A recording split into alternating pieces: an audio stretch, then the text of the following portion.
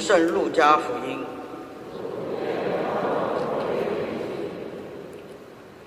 那时候，厄马乌两位门徒回到耶路撒冷，就把在路上所遇到的事和在分饼时认出耶稣的经过述说了一遍。他们正在谈论这些事的时候，耶稣站在他们当中，对他们说：“愿你们平安。”他们都惊慌起来，想是见了鬼。耶稣对他们说：“你们为什么惊慌？为什么心里起疑惑呢？你们看看我的手，我的脚，分明是我。你们摸摸看，要知道，鬼是没有肉、没有骨头的。你们看，我是有的。”说了这话，就把手和脚指给他们看。他们由于欢喜。还是不敢相信，只是惊讶。耶稣对他们说：“你们这里有什么吃的没有？”他们便给了他一片烤鱼，他接过来，当着他们面吃了。耶稣对他们说：“以前我还跟你们在一起的时候，就对你们说过这话：凡是没设法律、先知和圣咏上。”关于我所记载的话，都必定应验。于是耶稣开启他们的心窍，使他们理解经书，对他们说：“经上曾这样记载，莫西亚必须受苦，第三天要从死人中复活。人要因他的名字，把悔改的讯息从耶路撒冷开始传报给万民。”使他们得到罪赦，你们就是这些事的证人。以上是基督的福音。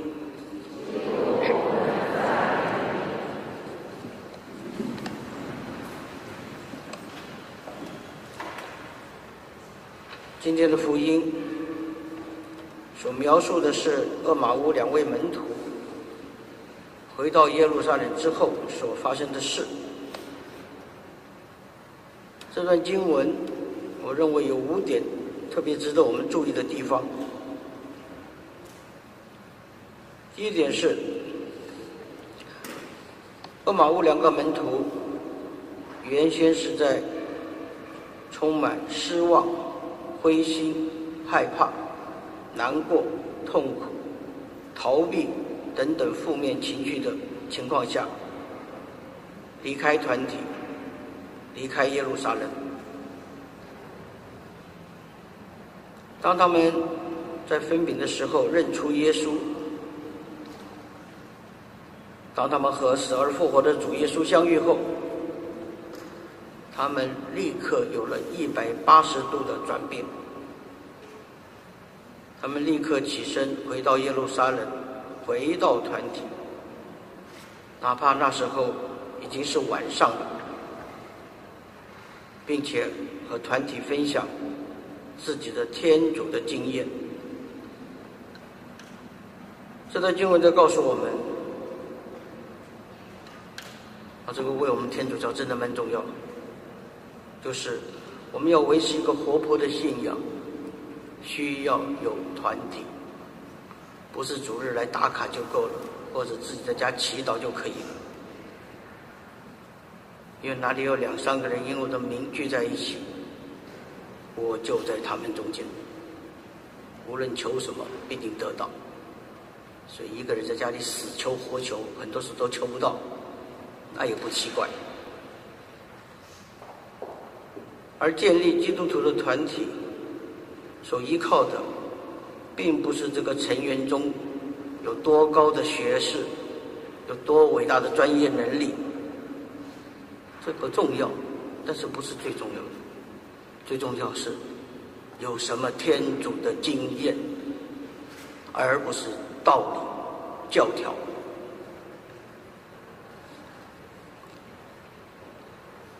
这段经文第二点值得我们注意的地方是，我们都知道耶稣已经为我们死而复活了，但是死而复活的耶稣基督，到底跟之前降生成人的耶稣基督有没有什么不一样？这段经文给我们说明了。从外表上看来，复活后和复活之前的耶稣，几乎看起来是没有什么太大的差别的，因为他仍然有手有脚，有肉有骨头，而且他也吃也喝，甚至他身上还保留着他受苦受难时候的伤痕和钉孔。但是在本质上，复活后和复活之前的耶稣却有非常大的差别，因为复活前的耶稣，他的肉身和我们现在每一个人的肉身是一模一样的，这个肉身是会腐朽、会死亡，并且受到时空的限制的肉身。而复活后的耶稣的肉身，变成了一个不会腐朽、不会死亡，而且不再受时空限制的肉身。所以，当时虽然门徒所在的地方门户紧闭，他仍然可以自由的穿墙越壁进出，并且到处显现。我们在世界末日肉身复活的时候，也要获得跟复活主一样的这样子的肉身。之前教会因为搞不清楚，所以以前是不准火葬的，因为怕你后来复活都找不到肉身，没办法借尸还魂。啊，就看那个人要想天主的东西，很难跳脱人的经验。第三点值得我们注意的地方是：凡是梅瑟法律、先知和圣咏上关于我所记载的话，都必定应验。这表示就会的法律、先知和圣智和智慧三大传统，都是为了天主的救恩计划，都是为了天主子救世主。墨西亚的来临，所说的预言，所做的准备，而做的预先做的许诺。这段经文第四个值得我们注意的地方就是，经上曾这样记载：墨西亚必须受苦，第三天要从死人中复活。请特别注意，应该、必须的词汇说法，因为这是路加福音的关键字。圣使路加，他的福音是把耶稣的所言所行都放在一个他走向耶路撒冷的旅途当中，并且。以耶稣十二灵在圣殿讲道，他曾跟他的父母说：“你们难道不知道我必须在我父亲那里吗？”以及今天这段经文中的莫西亚必须受苦，第三天要从死人中复活，这两段经文是前后呼应的，前后相连的。因为为路加来说，天主的救恩计划就是要以耶稣基督的苦难、死亡和复活，他在耶路撒冷被钉在十字架的方式来实现，这是必须的。今天这段经文第五点值得我们注意的地方是。人要因他的名字，把悔改的讯息从耶路撒冷开始传报给万民，使他们得到罪赦。你们就是这些事的证人。这段经文就跟今天的读经一连接起来了。伯多禄在读经读经一中向群众宣讲耶稣基督，邀请他们悔改归正，以消除罪过。在这里碰到了一个很严肃的课题，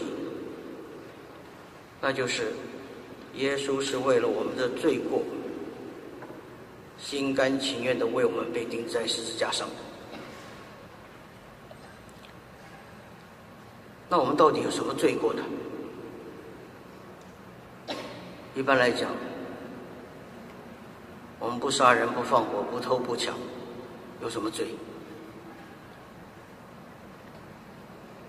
其实我们每一个人，被造的人、不完美的人，你什么都不要做，你的存在就处在一个罪恶的状态下。为什么呢？因为，请问你，在你的身上。有没有存在着骄傲、嫉妒、好色、贪财、贪吃、懒惰、愤怒等等的因子？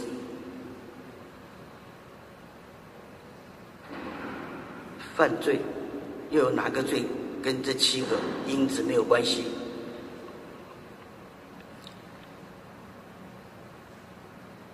而且我们都不愿意承认。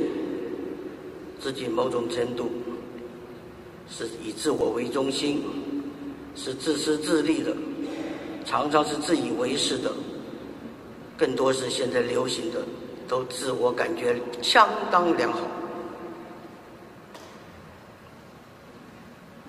所谓的悔改，就是得承认自己存在的真相和这个有罪的状态，而且只有天主的救恩。能够帮助我们解脱这个束缚。如果还有别的方法，干嘛要信天主教？自己在家修就好了，去烧香拜佛就好了。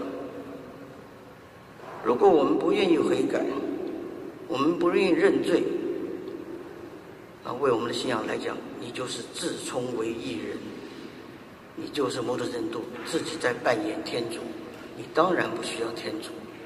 这跟你相不相信他，真的也没什么太大的关系，而且很恶心。也口口声声说我相信你，但是你都得听我的，我才让你当天主。人最厉害就是这一招。今天读经二是以另外一种方式来给我们说明这个事实，而且提醒我们不要犯罪。但是保罗非常的安慰我们。他说：“就算我们犯了罪，我们也不必过度自责或者害怕，因为借着耶稣基督在十字架上的牺牲，借着他现在坐在天主父的右边为我们祈求，为我们关说，天父一定会宽恕我们的。这是一般人讲的，不看生面，看佛面。”面天面对天主对我们这种主动、白白、无条件给予的爱，我们应该怎么回报他呢？其实我们要做的只有一件事，那就是要遵守他在最后晚餐之后临别赠言所说的一句话：遵守他的命令。他的命令就是。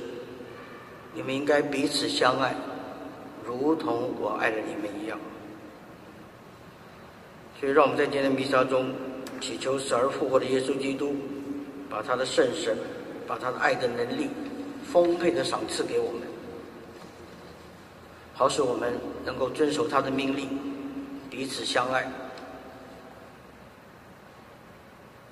只有我们努力彼此相爱，我们才真正是他的门徒。我们才有可能成为他中岳的子女。更重要的是，就是因为这个很难，所以你才能确定，我真的是在弃绝自己，背着自己的十字架，跟随耶稣基督。约奥迹也才会开始在我们身上发挥作用。我我们也才能够体验到什么是我们信仰所谓的复活。我在一弥撒一开始，请问了大家两个问题。第一个问题就是复活，耶稣复活跟你有什么关系？第二个问题就是你怎么看什么是耶稣显现？第二个问题，圣保罗中途在他的书信中已经给了我们最好的答案。